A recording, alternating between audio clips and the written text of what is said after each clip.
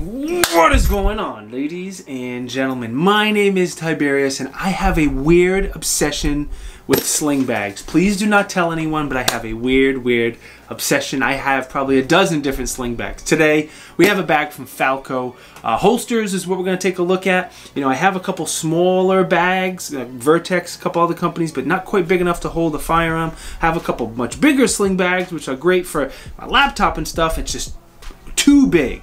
So I'm going to call this one the Goldilocks of sling bags because it's not too small, it's not too big, it's just right. And you are welcome for that really, really corny analogy. Before we get in uh, to the specifics on this bag, I do need to quickly thank the sponsor of this channel, sponsor of this video, excuse me, not this channel.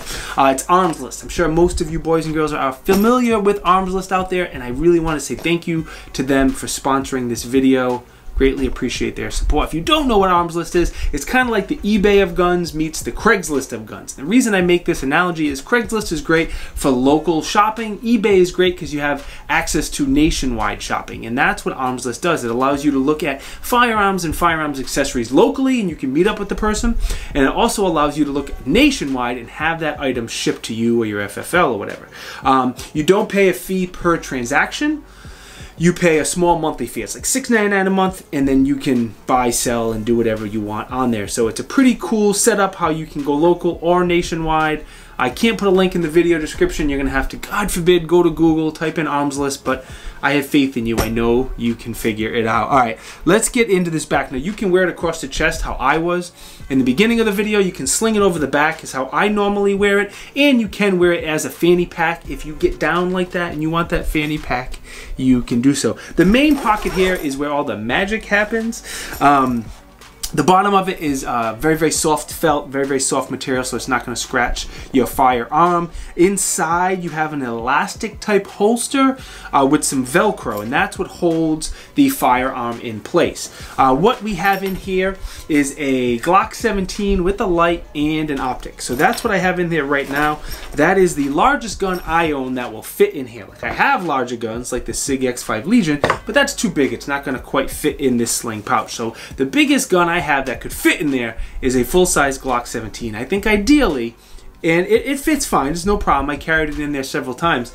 I think a Glock 19 size gun would be better, a 26, uh, and I also put my SIG P365 in there and carried that a few times, and that worked no problem as well. So anything Glock 17 and smaller. Your internal dimensions are 9.25 by 5.7. So um, being the bottom of it is Velcro, if you don't like that elastic holster, there's a lot of other holsters out there that have a Velcro back. Just so you know, it has that Velcro back if you want it. It has a second small admin pouch. Actually, it's not that small. It takes probably three quarters of the bag up. You can fit quite a bit in there. You know, I usually put my wallet, my car key, my AirPods, my Lucky Rock, maybe some gummy bears, whatever you want to put in there, you can do so. The front also has a little bit of MOLLE. If you want to roll in some MOLLE accessories of some sort, you can do so. The clip here has a, a release clip, but it's uh, covered by fabric. And I thought that was smart, that was slick, so it's a lot less likely to accidentally get pushed. You really have to try, you have to make sure. So there's it's almost no way you're going to accidentally push those buttons to release the strap. You have to make sure you're doing it. The strap, of course, is adjustable. We all are different sizes and body types and comes in and out. It'll fit most people, no problem.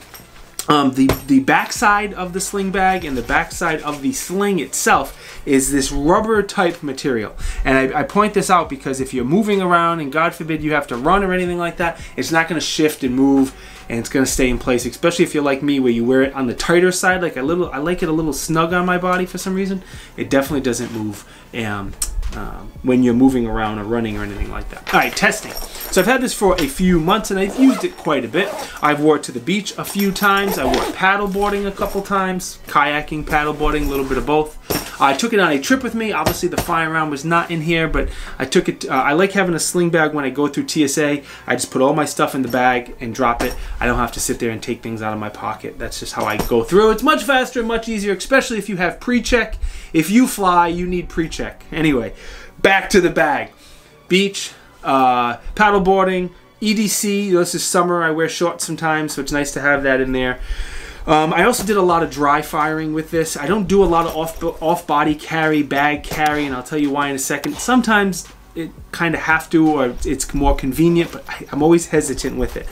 Uh, so I did a lot of dry firing. Sling the bag around, unzip it, get to the firearm, and uh, you know just getting comfortable with those motions. Once I did a little bit of dry firing, I brought it to the range, and we did the same thing dry fire. Sling the bag around, take the pistol out, send some rounds down range, and then reset. Um, the reason I say I'm hesitant, and I want to give you a really serious warning with off-body carries for two reasons. One, if I always worry about people who carry in a bag or a pocketbook and then you put that bag down. God forbid someone grabs it or you forget it or anything. You're responsible for that firearm and I do not want my firearm getting in the hands of anyone who shouldn't have it. The other thing is, um, it is a any bag carry is a little going to be a little bit slower than how I normally carry appendix. So it's important to have that motion down very, very smooth.